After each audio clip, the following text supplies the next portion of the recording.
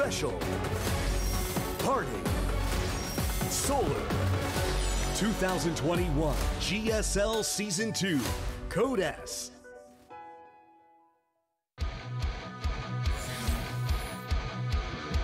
AfreecaTV. Freak Up Studio. Live. 2021 GSL Season 2. Welcome back, everybody. Parting vs. Solar is coming up next, and I'm excited for this one. Yeah, I always it's a cool enjoy a good parting game. He's always a lot of fun to cast. Solar, I think, should be a pretty good match for him. Yeah, yeah. These two, eh, definitely it feels like two players that should give each other a, a close run for their money. Um, who do you think is favored here?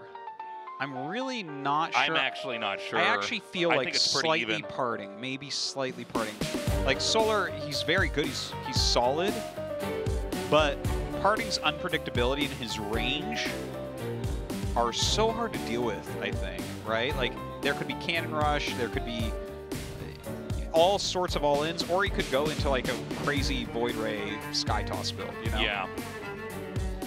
I mean, parting, one of the things that's always fun about him is he, he really does have his own style, his own approach. He's not afraid or embarrassed to cheese to all in to do something crazy, but his foundations are also very good. Yeah. Uh, and his Solar as well. Solar's a very crafty uh, ZVP player. I I look forward to what kind of game we're going to have here. Um, and we're going to be starting this off on GSL Oblivion. Oh, cool. Yeah. Okay. Yeah. I mean, I'm happy that we're actually seeing this map played a reasonable amount. Yeah, I always feel like we get these new maps, and then we don't get to see them that much because the pro gamers don't want to play on them. We were kind of lucky with Nautilus. That map was actually really well made. yeah, yeah. Actually got that one a decent amount. So uh, this best of three is about to get started. Let's not forget the trap awaits the winner of this best of three, whereas the loser will go down and face off against Special. So no matter how uh, you do in this best of three, you're going to have a tough opponent ahead of you. This is a very, uh, very, very strong group. Very hard to really predict who goes on, who gets out. Um, and so we're going to get closer to finding that out. Our game has loaded up. This is Parting versus Solar, game one in Group D, match two.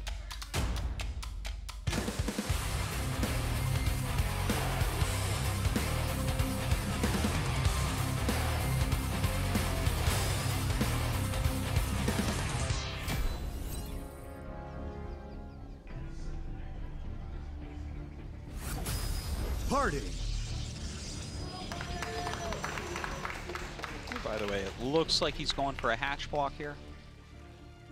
Very quick probe. KaiZi Gaming. Oh. Solar. Never mind, it's a cannon rush.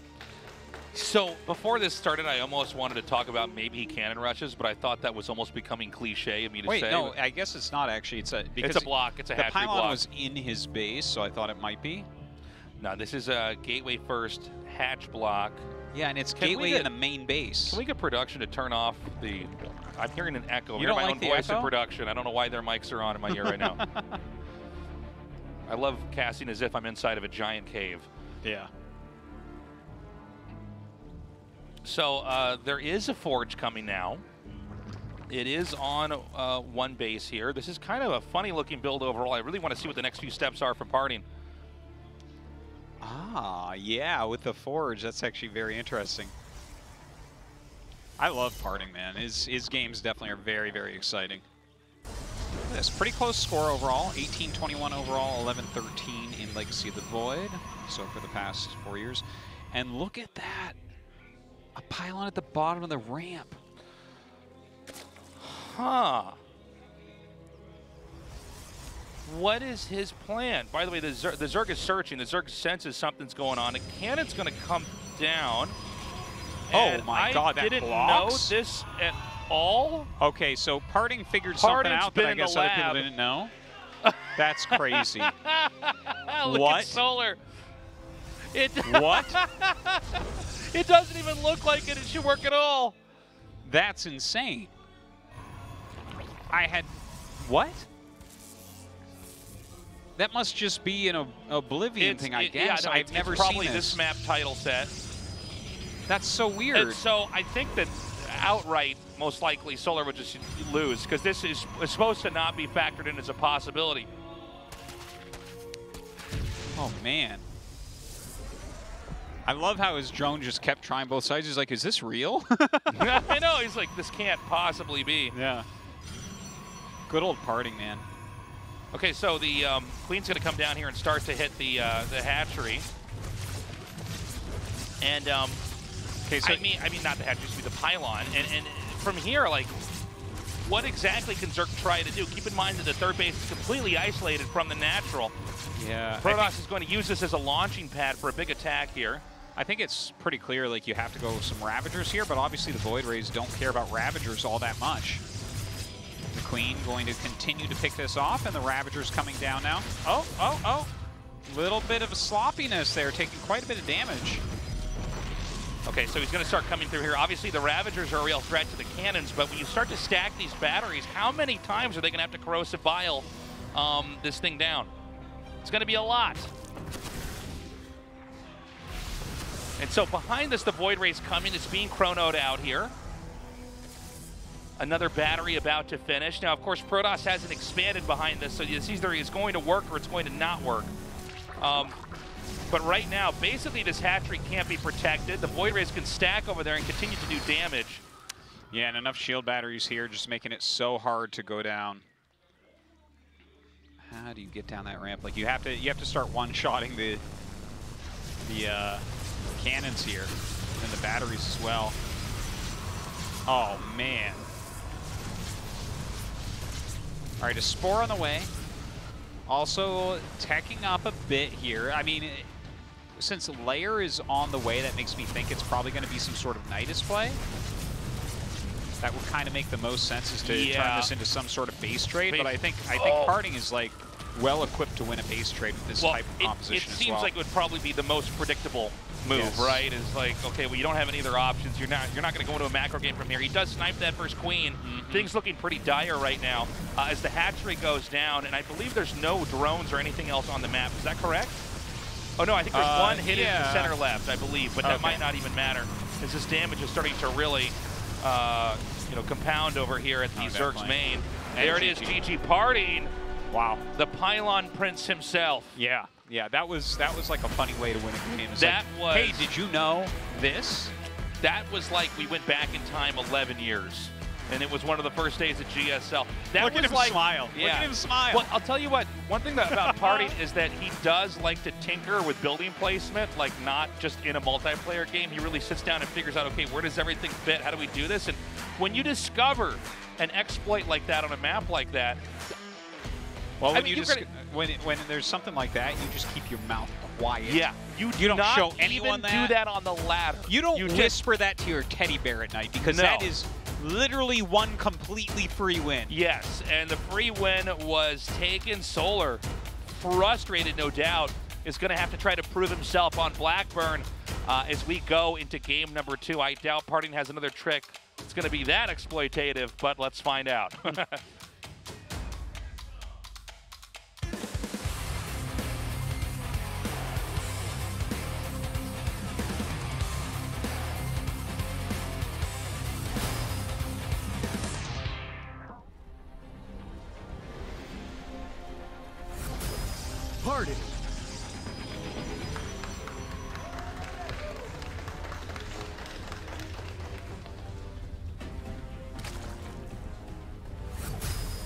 KaiZi Gaming. Solar.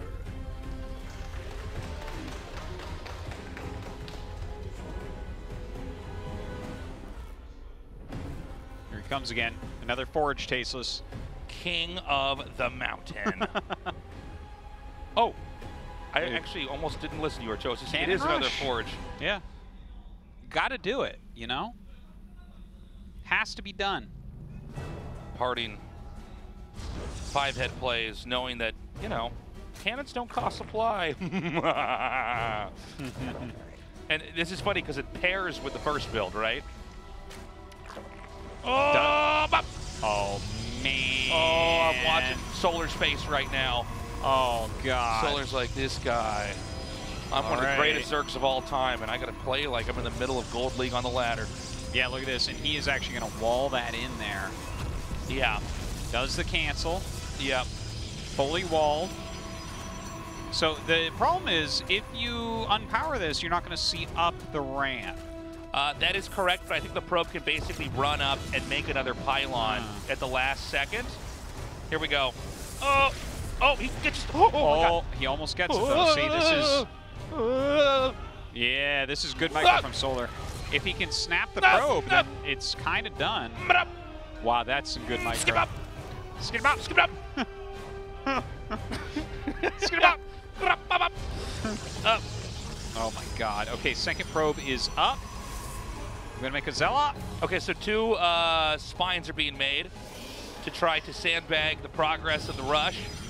Uh, there's a core being made back at home, and I think a lot of the same ideas are basically at play here. There is a pylon up on the high ground. It is not going to be easy to hit. I think if he gets a queen to the bottom left, he can hit it without the cannon being able Yeah. to fight back. But if Parting elects to make more cannons next to that pylon, well then there's another problem there for the Zerg. Yeah, it seems like the spines are gonna prevent him from dying to this. Yeah. But- Um, but I'm sure he has some sort of continuation here that's very good. Well, that's the thing is I think, you know, just looking at the way the Parting's playing right now, it doesn't appear that this is really the plan to win with the cannon rush. It's basically to set them up so that I'm guessing you could probably go into Void Ray and basically do the same thing again.